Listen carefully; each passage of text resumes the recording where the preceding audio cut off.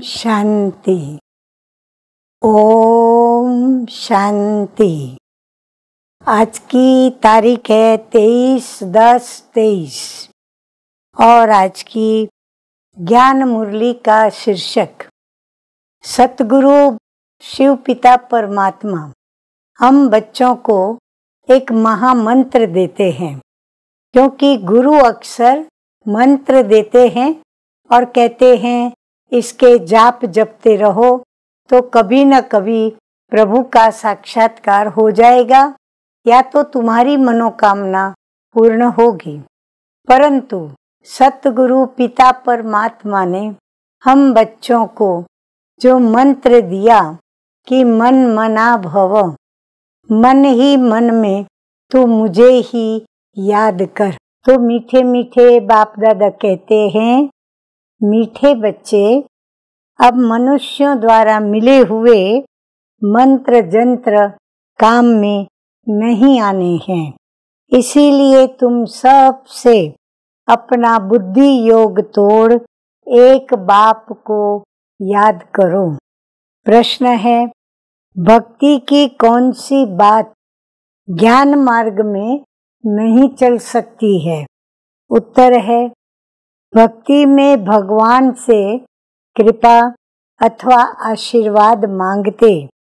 ज्ञान मार्ग में आशीर्वाद व कृपा की बात नहीं, क्योंकि ये पढ़ाई है। बाप टीचर बनकर तुमको पढ़ा रहे हैं। तकदीर का आधार पढ़ाई पर है। अगर बाप कृपा करे तो सारा क्लास ही पास हो जाए। इसीलिए ज्ञान मार्ग में कृपा व आशीर्वाद की बात नहीं। हरेक को अपना अपना पुरुषार्थ ज़रूर करना है। गीत बजा है, मैं एक नन्हा सा बच्चा हूँ, मैं एक छोटा सा बच्चा हूँ, प्रभु जी मेरी लाज रखो।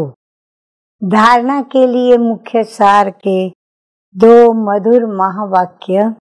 नंबर एक, अपना पुराना बैग बैगेज। 21 जन्मों के लिए ट्रांसफ़र करना है। इंश्योर कर, ट्रस्टी होकर संभालना है। नंबर दो है, निश्चय बुद्धि बन पढ़ाई करनी है। गरीबों को दान देना है। भारत को पवित्र बनाने की सच्ची रूहानी सेवा करनी है। वरदान सतगुरु शिव पिता का अपने हर कर्म और बोल के द्वारा चलते फिरते हर आत्मा को शिक्षा देने वाले मास्टर शिक्षक भव।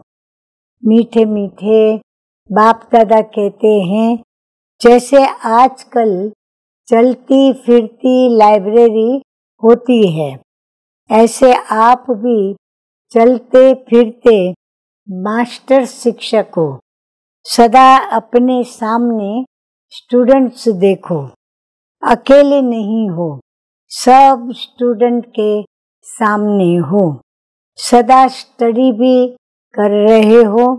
और करा भी रहे हो। योग्य शिक्षक कभी स्टूडेंट के आगे अलबेले नहीं बनेंगे। अटेंशन रखेंगे। आप सोते हो, उठते हो, चलते हो, खाते हो, हर समय समझो हम बड़ी कॉलेज में बैठे हैं और स्टूडेंट हमको देख रहे हैं। स्लोगन है, आत्मनिश्चय से अपने संस्कारों को संपूर्ण पावन बनाना ही श्रेष्ठ योग है। अच्छा मीठे मीठे सिकी लगे बच्चों प्रति माता पिता बाप दादा का याद प्यार और गुड मॉर्निंग, रूहानी बाप की रूहानी बच्चों को नमस्ते। हम रूहानी बच्चों की रूहानी बाप दादा को याद प्यार गुड मॉर्निंग और नमस्ते नमस्ते। ओम शांति।